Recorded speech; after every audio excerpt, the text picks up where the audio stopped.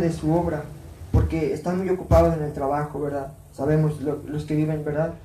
Este, que trabajan hasta el domingo, que no, no pueden este, descansar un día a veces ni para su familia, ¿verdad? Y aquí dice él, por eso que para quitar, dice, al, al hombre de su obra y apartar al varón la soberbia.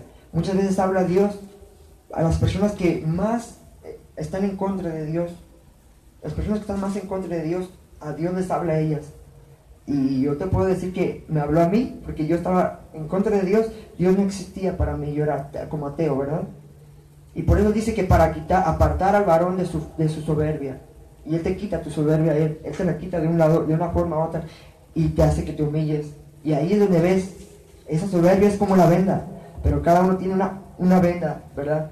No sabemos qué avaricia, ¿verdad? Ateísmo, todos tienen una venda, ¿verdad? Dice, detendrá su alma del sepulcro y su vida de que perezca a espada. De eso nos va a librar él, del sepulcro, de que nos vayamos sin, conocer a Dios.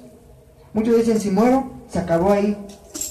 Claro que no, porque si conoces a Dios, tienes una vida eterna ahí, ¿verdad?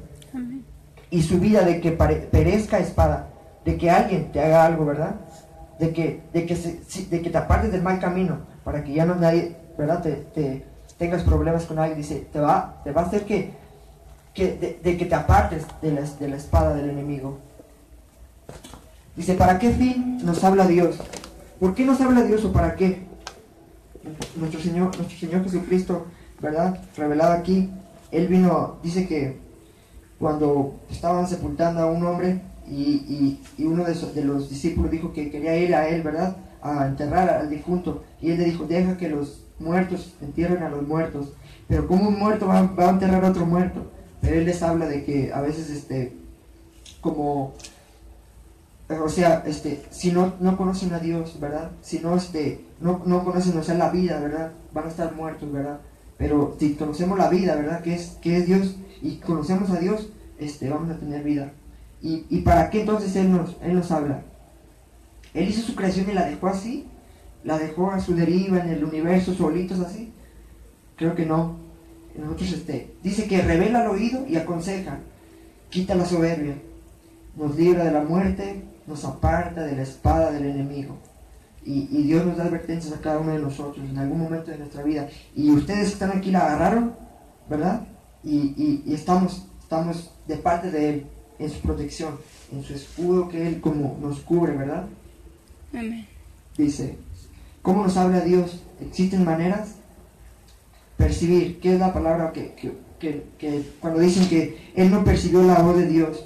Cuando alguien no la percibió, no la escuchó, dice, la palabra percibir significa aferrarse, sentir, comprender, entender mentalmente, reconocer, observar o discernir. Es cuando, cuando algo nos, captamos que dice, no te vayas por ahí porque por ahí hay una barranca, ah, ok, por ese camino no me voy, y percibe la palabra, la advertencia que te dan, ¿verdad?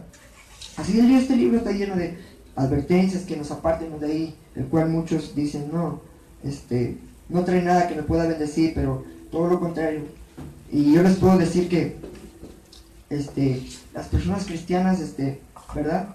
Viven mucho tiempo también porque, porque se apartan de eso, pues, de lo malo, y van a tener larga vida porque la misma palabra dice, si uno hace lo malo va a terminar mal, ¿verdad? Dice, Job 4.12 dice, el asunto también me era a mí oculto, mas mi oído ha percibido algo de ello. Job pasó por una tribulación muy grandísima, muy grande. Él se podía decir que en ese tiempo él, como tenía muchos, muchos ganado, muchas, muchas tierras, como una persona rica de aquel tiempo, ¿verdad? Pero él era, él era íntegro ante Dios pero él no comprendía lo que le pasaba y a veces no comprendemos lo que nos pasa, ¿verdad? Pero él dice que le era oculto para él, no sabía lo que pasaba, ni lo, por qué estaba pasando ese problema, Job. Pero dice, mas mi oído ha percibido algo de ello. Empezó a comprender lo que Dios estaba haciendo en su vida, ¿verdad?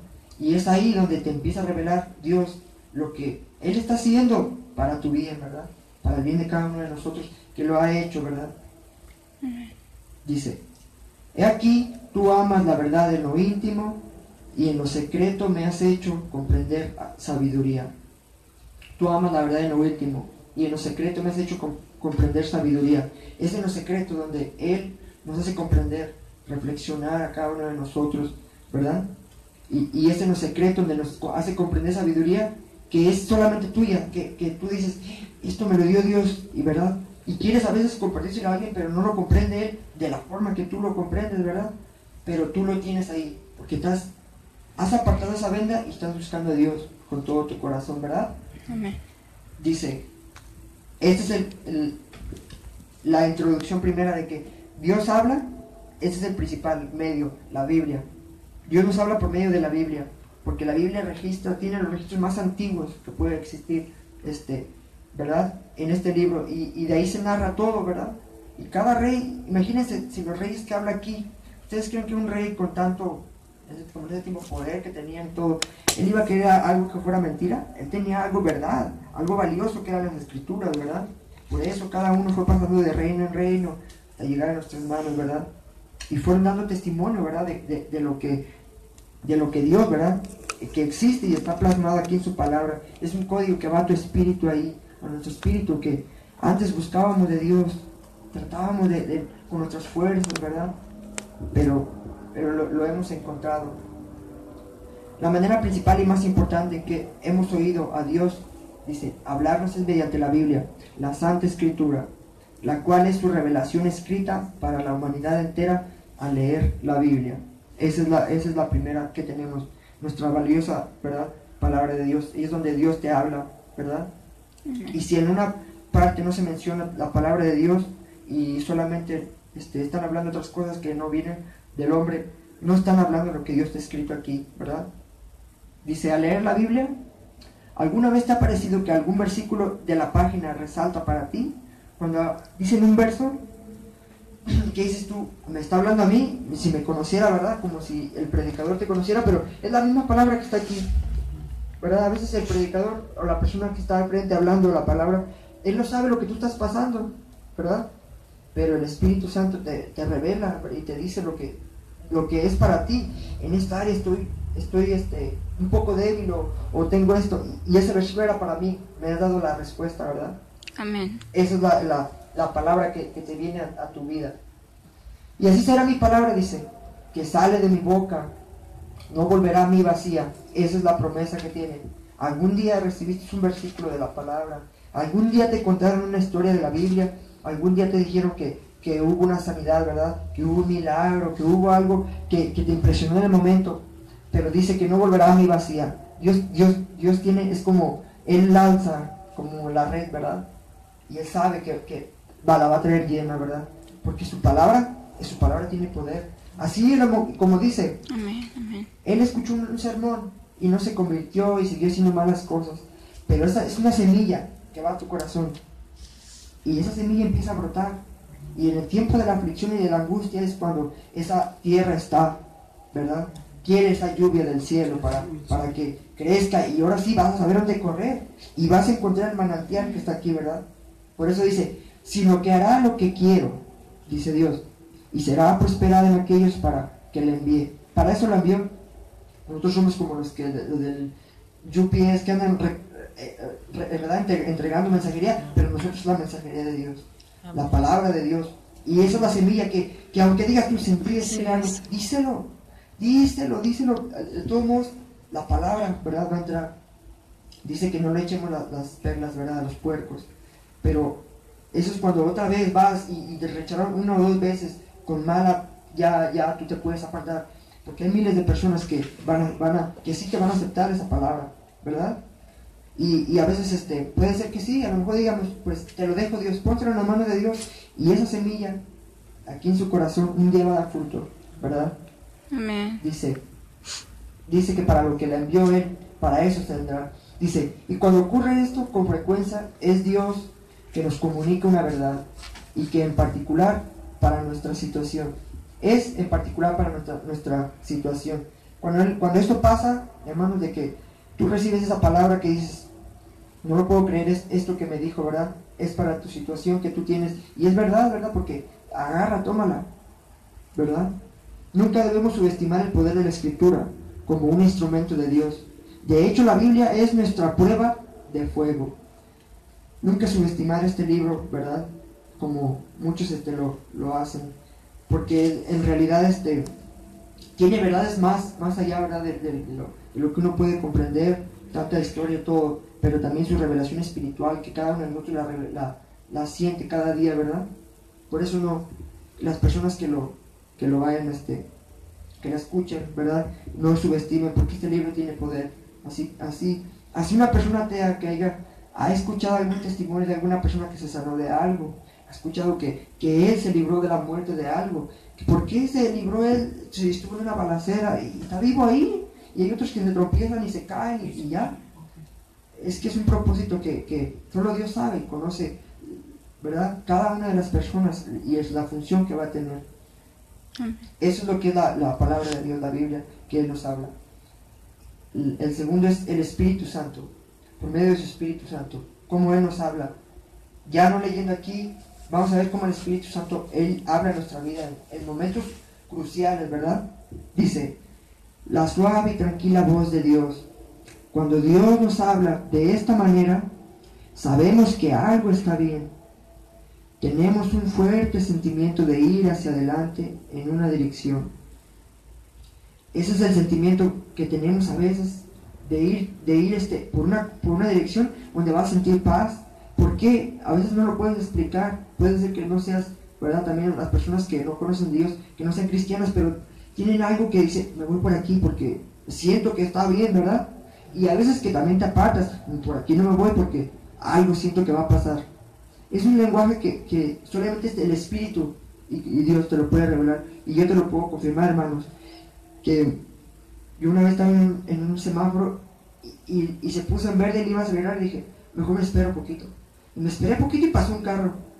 ¿Cómo supe? No lo sé, solamente Dios te, te, te revela y escucha su voz. No, no, no lo, no bloquees esa voz, porque a veces esa voz te puede librar de muchas cosas, te guía la verdad, te abre puertas, te da muchas cosas, ¿verdad? Que vienen de parte del Espíritu. Y es por eso que el Espíritu Santo nos revela a cada uno de nosotros. Dice, vemos algún asunto que hay en nuestro corazón y la respuesta está clara para nosotros. Es una voz que habla directamente a nuestro espíritu. Es esa voz que habla a nuestro, a nuestro espíritu, ¿verdad? Es el Espíritu Santo que nos va a guiar.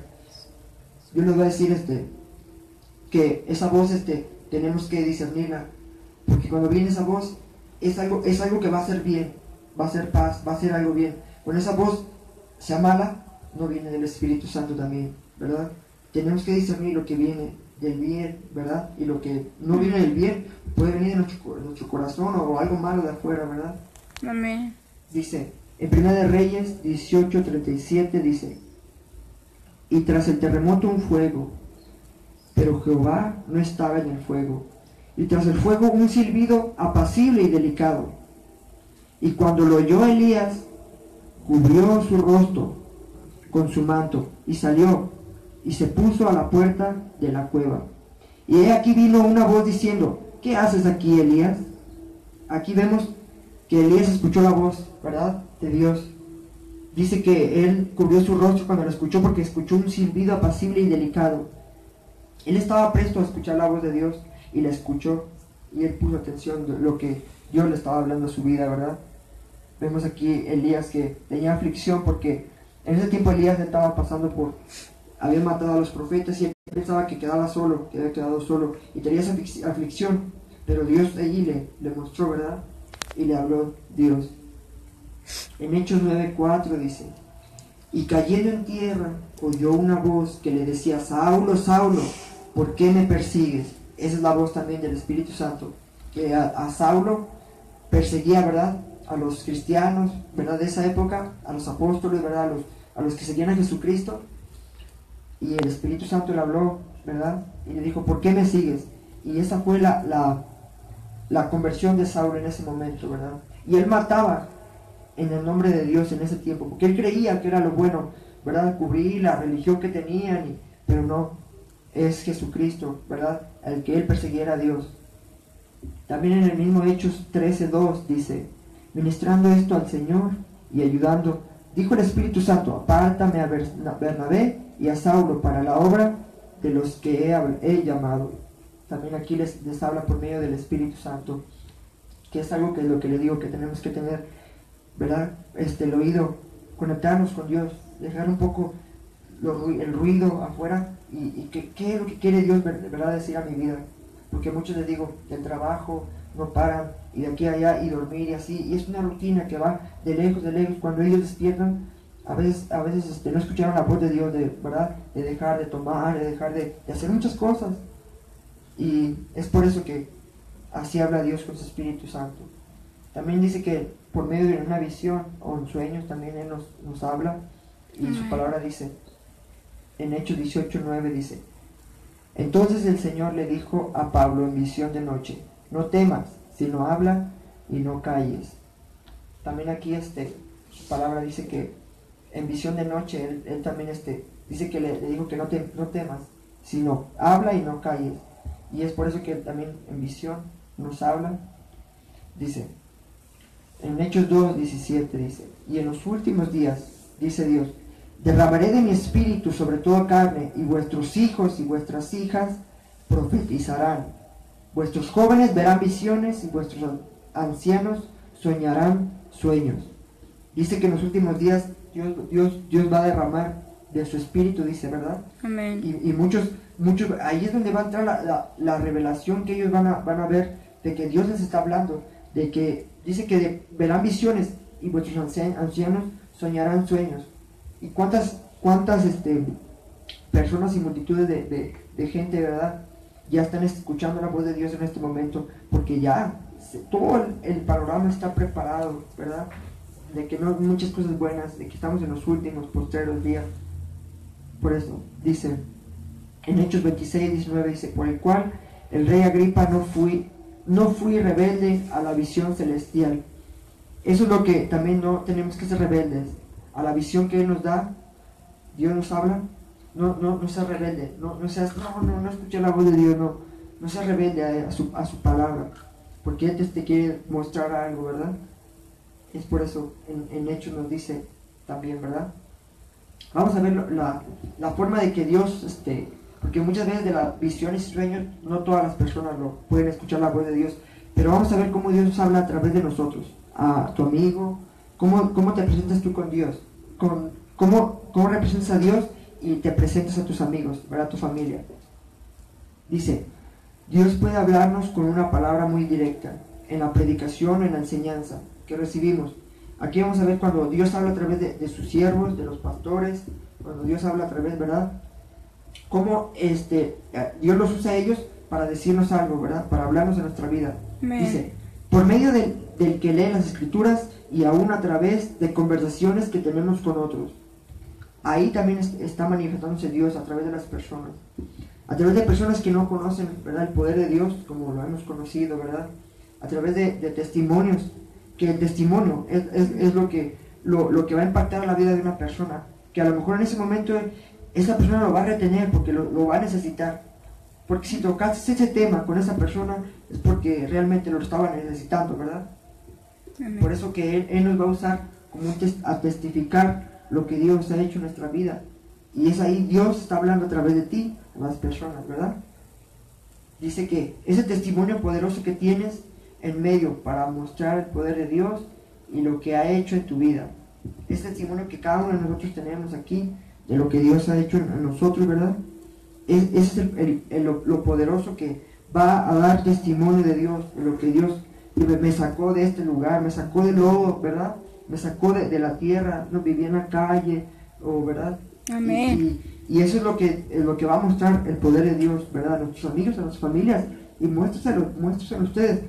Ahí tenemos este, cuántas señales ellos pueden ver y, ya no va a haber excusa para, para nadie, ¿verdad? De que Dios ha enviado a, la, a vida de las personas. Y ese testimonio que des va a redarguir su corazón, ¿sí? va a redarguir y testificar los hechos. En el corazón de la persona va, va a sentir, ¿verdad? Que, que, habló Dios a través de esa persona. Va a decir, yo quiero ese testimonio también, quiero que Dios me ayude de esa forma que ayudó a esa persona que me dio el testimonio, ¿verdad? Que en el momento que estaba caída, la levantaron, ¿verdad? Con ese ánimo y, ese testimonio de que Dios es real, ¿verdad? Dice en Jeremías 15, 20, dice, fueron halladas tus palabras y las comí. Y tu palabra me fue por gozo y por alegría. de mi corazón. Aquí dice que Jeremías, él, él buscó la palabra de Dios, dice, y las comí. Él las, las, las introdujo en su corazón, ¿verdad? Y tu palabra me fue por gozo. Eso es lo que trae la, la, la palabra de Dios, el gozo que te va a dar de que no es un libro malo, de que, de que es la santa y palabra de Dios. Dice que, y por alegría de mi corazón, la alegría que sientes y la paz, ¿verdad? Y el gozo que Dios te va a dar, va a venir a tu corazón, ¿verdad? Por, de esta manera, de que comas, coma el, el alimento espiritual. Este es, este es, lo que te va a traer gozo a tu vida. Dice. Porque tu nombre se invocó sobre mí, oh Jehová de los ejércitos. Él invocó el nombre de Dios y Dios le respondió de una manera grande, ¿verdad? Por eso este, en el día malo, en el día crítico, en el día triste, clama a Dios, clama a Dios con todo tu corazón y, y Él te va a dar, te va a dar gozo, alegría. Y, déjame decirte, hermanos, que eso es lo mejor a correr. Y, si tienes una aflicción, corres y a hundirte más en el pecado no está bien. En el alcohol, no, no está bien esto. Corre a Dios, corre su palabra, corre a Él y regocígate y búscalo, búscalo. Y Él te va a dar ese gozo, dice, y alegría de su corazón. Dice, en mi corazón. Él te lo va a enviar ahí. Y aunque la, la, prueba esté difícil, Él te va a dar, ¿verdad? Él te va a ayudar a, no sé cómo, pero te va a ayudar a salir de ahí.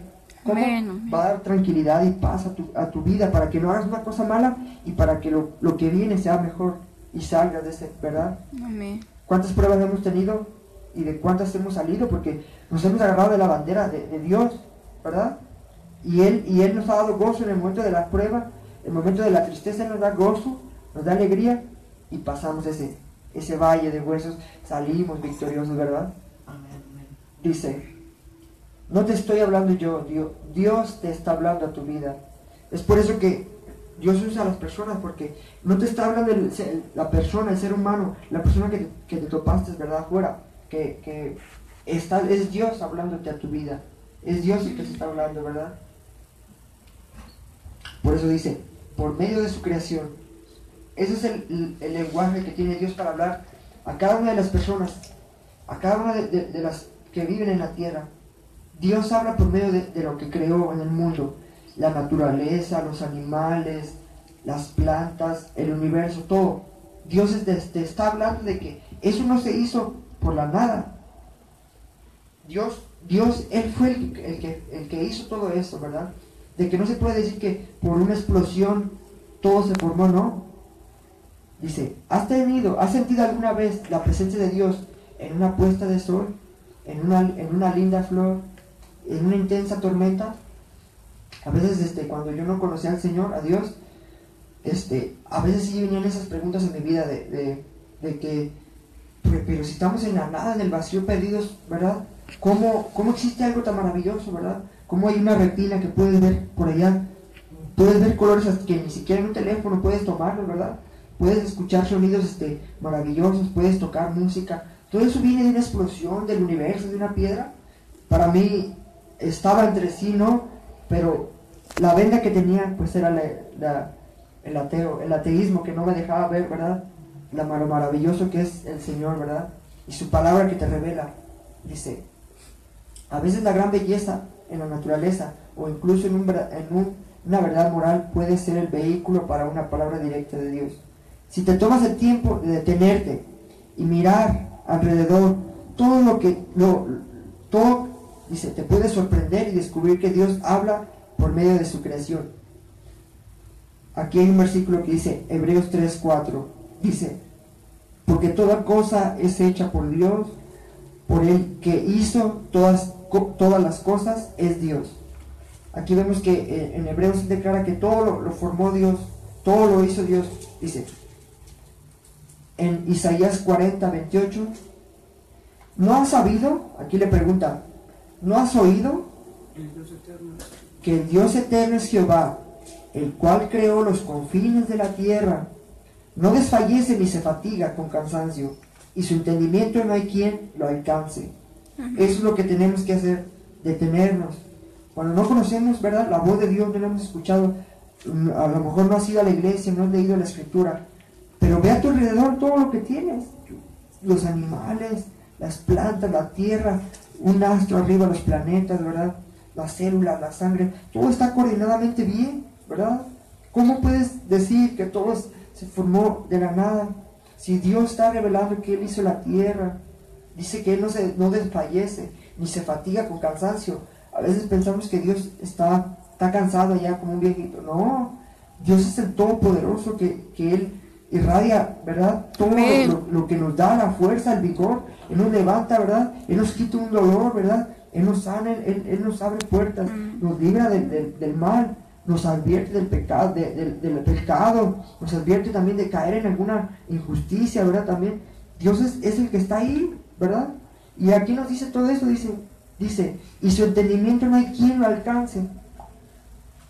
A veces dice que las personas antes creían más en Dios porque eran más intelectuales, este, filosofía, todos sabían muchas materias, ¿verdad? Y ellos comprendían que sí había algo porque tenían tanta, tanta, este, bueno, sabiduría, sabiduría, inteligencia, por eso mismo de que les daba, pero en esos tiempos el ateísmo es como una, es como, se ha hecho como una religión de que no, pero es una necedad del hombre, ¿verdad? El negar a Dios es algo muy triste, ¿verdad? Porque no te deja ver más allá no te deja explicarte lo, que no se puede explicar con palabras. ¿Cómo me salvé? ¿Cómo, ¿Cómo, hice esto? ¿Cómo pasó esto? Solo Dios lo sabe. Así, así cada uno de nosotros. Pónganse a pensar, hermano, lo voy a hacer reflexionar. Un bebé chiquito, ¿cómo nace? No se puede ver, no se puede ver. Es microscópico así, ¿verdad? Pero crece, su mamá le va dando el alimento y va creciendo el bebé. El bebé va creciendo. Es un milagro, ¿verdad? Es un milagro de Dios. Un bebé y cómo, ¿verdad? Dios hace eso, pero Dios, Dios lo mandó, ¿verdad? Dios es el que manda, ¿verdad? En Salmo 119, aquí hay otra declaración de Dios que dice, los cielos cuentan la gloria de Dios y el firmamento anuncia la obra de sus manos. Ah, eso es cuando te detienes a ver la creación, cuando dejas de, a lo mejor, ¿verdad? dejas de estar este, viendo hacia abajo, ve hacia arriba, ve alrededor tu familia, ve, lo que tienes. Dice que su obra anuncia la obra de sus manos. Cómo formó él todo, ¿verdad? Por medio de, con sus manos hizo todo, ¿verdad? Él formó con todo su poder. Otra declaración en Isaías 40, 26, 25, 26 dice, ¿a qué pues me asemejaréis? ¿O me compararéis? Dice el santo. Levantad en alto vuestros ojos y mirad, ¿quién creó estas cosas? A veces queremos comparar a Dios como, ah, ¿sabes qué? Hoy no quiero ir a buscar a Dios a la iglesia. O no quiero, no quiero que me hables de Dios. Dios es, el que está. No se puede asemejar a nada. No lo puedes traer en la bolsa. Dios está en toda su creación. Pero Él ha dejado a, su consolador, ¿verdad? Ha dejado el Espíritu Santo en nuestras vidas para que nos guíe. Ese es el Dios que tenemos. Y por eso dice que, que no lo podemos comparar porque con nada dice que no lo puedes esconder, no lo puedes poner en una pintura, no lo puedes, porque Dios es más grande que eso, ve su creación, ve todo lo que está formado. Dice, levantad en alto vuestros ojos y mirad quién creó estas cosas. Él saca y cuenta su ejército, a todas ellas llama por su nombre. Ninguna faltará. Tal es la grandeza de su fuerza y el poder de su dominio. Él sigue en su creación, ¿verdad? Haciendo grandes cosas por todos lados, ¿verdad? Que nosotros aquí nos tiene, ¿verdad? Pero por su bendita misericordia Él ha puesto la mirada en nosotros, en cada uno de nosotros, ¿verdad? Amén. Sí. También otra forma de que Dios nos, nos habla es cuando nos pasamos una circunstancia, ¿verdad? A veces mala, o una circunstancia este, peligrosa, o de enfermedad, o un accidente, o, ¿verdad? O una, en la cárcel, o, o qué sé yo, hay muchas formas. Esas en experiencias también que, que el Señor te puede hablar a mí, a ti, ¿verdad? Dice, algunas veces puede Dios hablar por medio de incidentes muy concretos. A veces sucede en oración en la casa. A veces sucede cuando respondemos a un llamado en el altar. Eso es también cuando tenemos una experiencia de que Dios te habló y, tú respondes a, ese llamado que te hizo Dios, pasas al altar también, ¿verdad? Y ahí te rindes porque el altar es, es una figura de que Dios está, ¿verdad?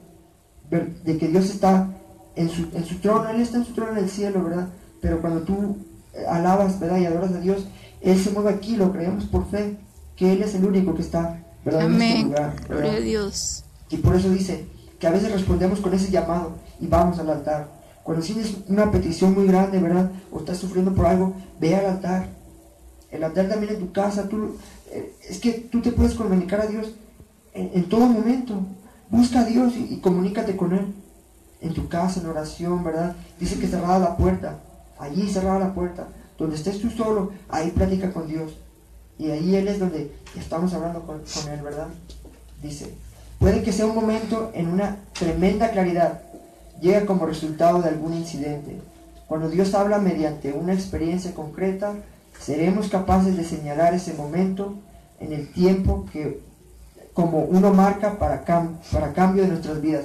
Cuando pasa algo así que se te queda marcada esa experiencia, se nos va a quedar marcada, y ahí vas a recordar lo que Dios hizo en tu vida, ¿verdad? Dice, por medio de ángeles, Dios dice que habla también en su palabra por medio de, sus ángeles. Y vamos a ver este cómo, cómo, cómo, Dios ha hablado por medio de sus mensajeros que tiene, ¿verdad? Dice a lo largo de la Biblia, Dios envió ángeles como sus mensajeros para hablar algo a su pueblo. Dios sigue escogiendo este método de comunicación de vez en cuando y no podemos descartarlo. Un día puede que Dios te sorprenda, ¿verdad?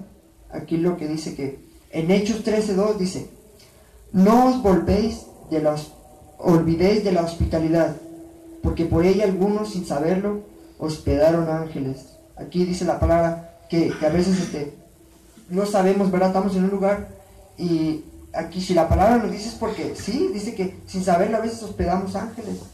A veces el, Dios nos, mandó una persona que te libró de algo, ¿verdad? Y no sabemos si fue un ángel. A veces puede ser que tú ayudaste a una persona y esa persona te bendijo con, con una experiencia, con una, con una, ¿verdad? con algo, ¿verdad? Que, tocó tu vida y no sabemos si era un ángel. No podemos, no puedes despreciar a cualquier persona, ¿verdad? No podemos, ¿verdad? Despreciar a cada, cada persona porque no sabemos a veces si Dios puso un ángel ahí, ¿verdad? Y cuántas veces no hemos visto la mano de Dios y, y, yo sí creo que alguna vez cada uno de nosotros nos hemos topado con un ángel. Amén. ¿Verdad? Y nos ha ayudado, ¿verdad? O nos ha dado un mensaje o, o un consejo, ¿verdad? Por eso dice que no, no olvidéis, no lo olviden, que la, dice, no olvidéis de la hospitalidad. Así sea una persona que, que tú digas, este, no tiene hoy donde dormir está fuera de mi puerta, ¿verdad? Y puede ser que lo paso en mi casa, que se duerma quizás esa noche, que se tape del frío, ¿verdad? Pero puede ser que esa persona sea un ángel de Dios, que Él haya mandado ahí para ver tu corazón, dónde está lo que te dice ser, ¿verdad? Ahí es donde, donde, donde vamos a ver cada uno y, y, y puede ser que cada uno lo hemos pasado. Y si no, aquí está ese versículo que les digo. No, no nos olvidemos de la hospitalidad, porque de ella algunos sin saber hospedaron ángeles. Dice, con voz audible. Y con voz audible, este es el último, ¿verdad? Hay muchos, Dios habla de muchas formas, pero con su voz audible. Dice, a veces escoge hablar con voz audible. Desde luego, Dios puede escoger cuando, cuándo, dónde y a quién habla. Pero es importante también reconocer las barreras que nos impiden la revelación. Dios a veces, Él, puede hablar a través de su voz, de su voz audible, pero si Él lo quiere, ¿verdad? Y yo lo creo también, porque he escuchado testimonios de personas que estuvieron a punto de, suicidarse, de quitarse la vida, y ellos, ellos escucharon la voz de Dios. ¿Cómo pasó eso? Ellos tienen, ¿verdad? Su palabra que Dios les habló. En ese momento los libró Dios de esa muerte. En ese momento los libró de, hacer un crimen. Y escucharon la voz de Dios, no lo hagas. Y voltearon y, y, a lo mejor no vieron a nadie, ¿verdad? Pero pues Dios también, que él, él, él puede hacer lo que Él quiera, ¿verdad? Él, puede, él puede este, hablar de esa forma si Él quiere. Y tenemos que estar prestos, ¿verdad? A escuchar su, a escuchar su voz. De cualquiera de esas maneras que les he dicho, hermano, yo sé que le hemos escuchado, pero a veces tenemos este personas que ocupamos eh, a, explicarles, a hablarles de la Biblia también, ¿verdad? Y, comunicarles esto, ¿cómo habla Dios? Aquí es la pregunta para ustedes, ¿de, qué forma te ha hablado Dios tu vida, a su vida? ¿De qué forma Dios te ha hablado? ¿Por su escritura? ¿Por un testimonio? ¿Por su Espíritu Santo te ha hablado? ¿Cómo te ha hablado cada uno de nosotros? Cada uno de ustedes sabe cómo Dios te ha hablado tu vida, ¿verdad? Y también dice, ¿has sido capaz de reconocer cuando te habla? hemos sido capaces, cuando Dios nos habla, algunas veces sí, algunas veces a lo mejor también no la hemos escuchado y por eso pasan a veces cosas, ¿verdad? Porque no, no escuchamos, o, o- pero la mayoría de veces tenemos que estar presos ya a su oído. Cuando ya una vez lo escuchaste y resultó en verdad lo que pasó y cumpliste, dices, claro, escuché su voz y no pasó esto, sigue escuchando la voz, sigue escuchando porque te, te va a dar, te va a dar la- la victoria, ¿verdad? Y esto es lo más importante de todo, ¿verdad? Dice, si creemos haber oído a Dios, pero lo que oímos contradice la Biblia, si, si escuchamos la voz de Dios, pero lo que, lo que escuchaste contradice la Biblia, dice, de alguna manera podemos estar seguros de, de lo, que nos, de lo que no estamos oyendo no es la voz de Dios, de lo que, lo que estamos oyendo no es la voz de Dios. Si escuchamos un día la voz y tu espíritu te va a dar el discernimiento de que, de que eso vino de Dios o no, de que fue bueno o malo, ¿verdad? Y si vemos que eso que nos habló Dios no está en la escritura, no lo escuches. Eso también, eso es lo que tenemos que estar y pedirle a Dios que nos dé discernimiento, ¿verdad? El discernimiento para escuchar su voz y, y hacerla, ¿verdad? Bien. Y, y no, este, no confundirnos, porque también el enemigo a veces nos habla, ¿cómo no? Tenemos que ser honestos también. Y tenemos que reprender cuando el enemigo es y no hacer caso a esa voz, ¿verdad? Y hacer la, la, la voz, hacer caso a la voz de Dios. Por eso dice en Deuteronomio 4:30, cuando estuvieres en angustia y te alcanzaren todas estas cosas, si en los posteriores días te volvieres a Jehová, tu Dios, y oyeres su voz. Dice que si nos volviéramos a Dios, vamos a escuchar su voz. Dice, sea cual sea el método, cuando el Señor use a alguien para hablarnos, sus palabras nos llegan de manera profunda. Co- Como cuando alguien enciende la luz, en dice, en medio de la oscuridad. Sea, sea cual sea la manera que, que use Dios, Él va a llegar de manera profunda a tu vida y a mi vida, como ha llegado, ¿verdad? Y ahí es donde, donde tú vas a, va a ser como una luz que ha, que ha resplandecido, ¿verdad? En lo oscuro. Y para terminar este dice, Hebreos 4.3, por lo cual, como dice el Espíritu Santo, si oyeres hoy su voz, no endurezcáis vuestros corazones como en el día de la provocación, en el día de la tentación en el desierto. Eso es lo que dice el, el Espíritu Santo, que si oyemos hoy su voz, si tú le dices la voz a una persona, dice, si oyeres hoy su voz, no endurezcas tu corazón, no lo tenemos que endurecer. Igual decirle a la persona, oye, te estoy diciendo esto porque yo sé que estás pasando por esto, ¿verdad? Si oyeres hoy su voz, no, no, no endurezcas tu corazón para que Dios te ayude, ¿verdad? Amén. Por eso tenemos que, que mencionarles todo esto, ¿verdad? Porque a veces ellos se cierran en algo y no quieren saber nada, ¿verdad? Pero si dice la palabra, si oyeres hoy su voz, no endurezcas tu corazón, ¿verdad? Aleluya. Para librarnos de eso. Y para terminar ya, hermano, dice reflexión. Dice, dice, Señor, tú nos hablas por medio de muchas maneras, el cual no tenemos excusa para no escuchar tu voz. Ya con esto, hermano, no, no tenemos nadie excusa, ¿verdad? Y comunicarse a las personas, ¿verdad? Que, que Dios tiene sus maneras de hablar, que, que Él no nos dejó solos, ¿verdad? Aquí en este, en este mundo y escuchar su voz. Eso es lo que yo le quería decir y hablar esta noche. Yo le doy gracias a Dios por todo. Amén. Sean este, cuide cada uno de nosotros, vaya con bien y, y Dios los bendiga a cada uno de nosotros, ¿ok? Y Amén. yo le doy gracias a Dios por todo. Bueno, gracias, Amén. Amén. Sí. Let's pray, ¿ok? Ok. Padre bendito Señor que estás en el cielo. Sí, Señor. Bendito Padre, te pido, bendito Padre Señor Jesucristo. Sí. en esta noche, Padre, que bendigas a cada uno de, mi- de mis hermanos, Padre. Bendito Dios, tú conoces nuestro corazón, Padre, que hablas a cada una de nuestras Sí, vidas, Señor. Padre. Bendito Dios, Be- bendito Padre Celestial. Yo sé que tú, Padre Señor, pones en el corazón de cada uno de mis hermanos, Padre, lo que habremos de decir, Padre, lo que habremos de escuchar Sí, y lo que sí. cada uno de nuestros corazones necesita, Padre. Bendito Dios, te pido que nos sigas dando, bendito Padre Señor, ese amor, Padre, por ti, bendito Dios, Padre, de buscar escudriñar tu palabra, Padre, de escuchar tu voz. Bendito Padre, te pido que lleves conmigo a mis hermanos, a mis pastores, Padre, a, mi- a todo, bendito, a mi familia, Padre, y que los curas y los llenes de bendiciones y les sigan mostrando y revelando, bendito Padre, lo que usted quiere para todos nosotros, bendito Dios. Padre, te doy gracias en esta bendita noche. Todo esto te lo pido en el nombre bendito de tu Hijo amado, en el nombre de nuestro Señor Jesucristo. Amén, Padre. Amén. Gracias, Señor. Gracias. Aleluya. Praise the Lord. Amen. Aleluya. Amén. Aleluya. Gloria a Dios. Awesome. Good evening, good Good evening. evening, good evening. Aleluya. You tired, Pastor. Ah,